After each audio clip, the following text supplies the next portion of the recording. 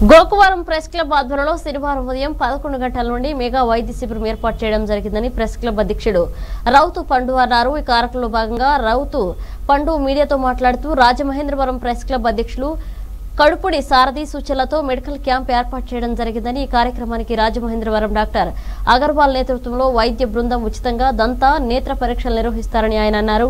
అలాగే డాక్టర్ మహేష్ మాట్లాడుతూ శనివారం ఉదయం పదకొండు నుంచి ప్రారంభమయ్యే ఈ వైద్య శిబిరాన్ని ప్రెస్ క్లబ్ కుటుంబ సభ్యులతో పాటు గోకువరం మండలానికి చెందిన ప్రజంతా సద్వినియోగం చేసుకోవాలని వారు సూచించారు. ఈ కార్యక్రమంలో ప్రెస్ క్లబ్ కుటుంబ సభ్యులు గ్రామస్తులు భారీగా పాల్గొన్నారు.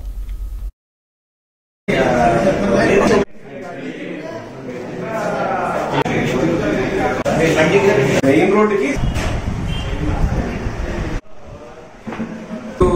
గోకవరం ప్లేస్లో ప్రెస్ క్లబ్లో చిన్న శ్రీవాణి దంత వైద్యశాల ఆ, రాజమండ్రి తరఫు నుంచి ఒక ప్రెస్ సోదరులందరితో కలిసి వాళ్ళకి ఒక చిన్న క్యాంప్ లాగా చేయడం జరిగింది.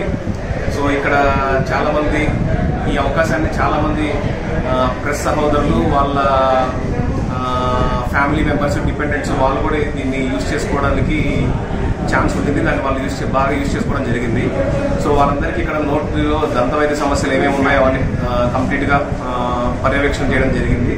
సో దాంతోపాటు వాళ్ళకి ఏమేమి ప్రాబ్లమ్స్ ఉన్నాయో వాటికి ఎలా ట్రీట్మెంట్ చేసుకోవాలా?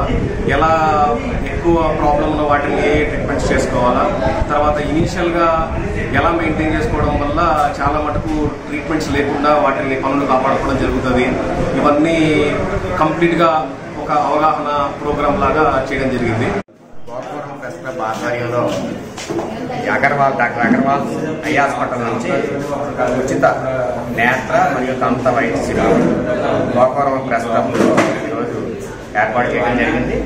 ఈ కార్యక్రమానికి రాజమండ్రి నుండి డాక్టర్స్ వచ్చారు ఉచితంగా పరీక్షలు నిర్వహించి ప్రెస్ క్లబ్కి సంబంధించిన ప్రెస్ మిత్రులు వారి కుటుంబ సభ్యులందరూ కూడా ఉచితంగా పరీక్షలు చేయడమే కాకుండా వారికి ఏమైనా ఆపరేషన్స్ అవి అయితే ఈ జర్నలిస్ట్ హెల్త్ కార్డు మీద ఉచితంగా చేస్తామని తెలిపారు. అలాగే బయట నుండి కూడా వచ్చిన ప్రజలందరికీ కూడా ఉచితంగా పరీక్షలు నిర్వహించి వారికి తగు సూచన సలహాలు ఇస్తారు ఇటువంటి కార్యక్రమానికి సహకరించిన మా ప్రజల మిత్రులందరూ కూడా ధన్యవాదాలు తెలియజేస్తున్నాం.